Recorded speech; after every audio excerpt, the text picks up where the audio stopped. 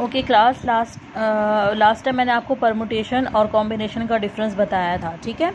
अब जो है, हमारे पास हम स्टार्ट कर रहे हैं कॉम्बिनेशन ठीक है? परमोटेशन जो है ख़त्म हो गया।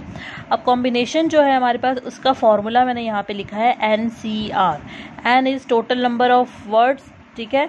And R is selected words ठीक है? Selected number words N factorial N minus R factorial R factorial ठीक है? ये फिक्टोरियल सबको सॉल्व करना आ गया है। ठीक है, अब यहाँ पे देखो मैंने क्वेश्चन लिखा है। There are three same prizes and seven teams playing in a tournament in how many ways can three teams get these prizes ठीक है तो फ़र्स्ट ऑफ़ ऑल सबसे पहले ये देखना है। टोटल नंबर ऑफ़ टीम्स हमारे पास क्या हैं? प्राइजेस कितने हैं? थ्री और टोटल नंबर ऑफ़ टीम जो है हमारे पास, वो क्या है? सेवन तो यानी कि हम लिखेंगे यहाँ पे टोटल नंबर ऑफ़ टीम्स यानी कि टोटल नंबर हमारे पास एन क्या हो गया? इसमें सेवन ठीक है? और इसमें सेलेक्ट कितने कर रहे हैं? सिलेक्ट क्या कर रहे हैं? थ्री प्राइजेस को. थ्री प्राइजेस जो कि हम उन सेवन टीम्स में से देंगे। तो ऑफ़ कोर्स ज़ाहिर सी बात है, वो थ्री प्राइजेस किसी तीन ही टीम्स को मिलेंगी। तो इसमें सिलेक्टेड क्या हो गया? आर क्या हो गया इसमें? थ्री ठीक है? तो अब फॉर्मूला तो सबको पता है एन सी आर तो आप फार्मूला इसमें अप्लाई कर सकते हैं।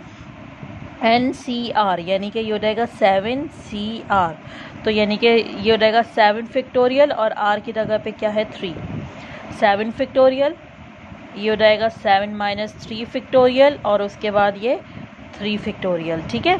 तो यानी कि ये हो गया seven factorial, seven minus three, ये हो जाएगा four four factorial into three factorial, ठीक है? मज़ीद इसको अगर हम सॉल्व करें तो इसको यहाँ लिख दूँ, seven, six, five, four, three, two, one, और फोर फिक्टोरियल का मतलब क्या होता है? फोर, थ्री टू वन और थ्री फिक्टोरियल का मतलब क्या होता है? थ्री टू वन, ठीक है? तो ये थ्री टू वन, ये थ्री टू वन यहाँ से मैं कैंसिल कर दूँ और ये कितना बनेगा? Four three the twelve twelve two the twenty four, ठीक है? नीचे हो जाएगा आपके पास ये ठीक है, ये बन गया आपके पास ट्वेंटी फोर और ये बन गया ये वाली चीज़ मैंने वापस लिख दिया इस पूरे को हम सॉल्व करें तो हमारे पास आंसर आ रहा है thirty five. Thirty five ways हमारे पास बनते हैं इसको सॉल्व करने के। ठीक है, क्लियर है यहाँ पे कॉम्बिनेशन कोई मसला तो नहीं है यहाँ